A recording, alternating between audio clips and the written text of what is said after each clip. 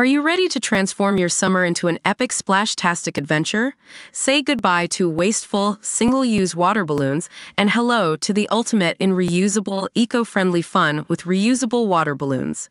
Check out the link in the video description to get yours on Amazon today. Exes Jess Vestal and Harry Jowsey weren't a perfect match in the long run, and she is spilling new details on how his Dancing with the Stars run affected the end of their romance. We got back from Perfect Match, and, he started that, DWTS, right away, Jess, 30, said on the Wednesday, July 10th, episode of the Viall Files podcast of why she called off their rekindled fling.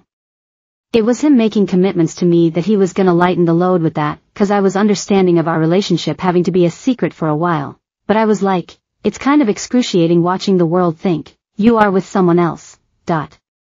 This was crazy. Jess and Harry, 27, met while filming Perfect Match Season 2, which aired on Netflix last month. They briefly split during the finale over rumors that he kissed co-star Melinda Melrose, which he initially denied. After filming wrapped, Jess and Harry rekindled their connection. At the same time, he signed up for DWTS and was partnered with Rylee Arnold. Harry and Rylee, 19, sparked romance rumors after they were spotted holding hands at an October 2023 Tate McRae concert, three weeks into the DWTS season. We broke up that morning, Jess said of the viral photos. I was so mad, I was sad, but I was like, whatever.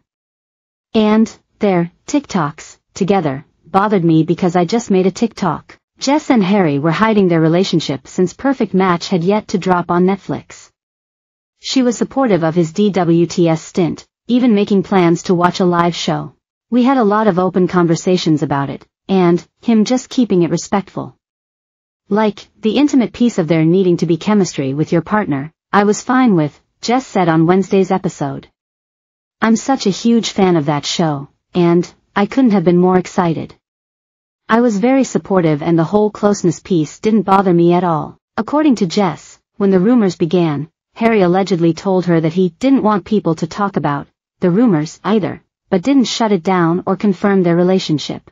I get, for viewership, it worked out really well for them. But at the same time, if you want to do that, it's not respectful to me, she said. Even if no one besides you and I know we're together. Jess further revealed on Wednesday that the pair discussed her meeting Rylee, which never ended up happening. That would have alleviated a lot of concern, Jess recalled. I mean, I don't live across the street. I live across the country, in Charlotte, North Carolina, so it's not like I could just pop into practice.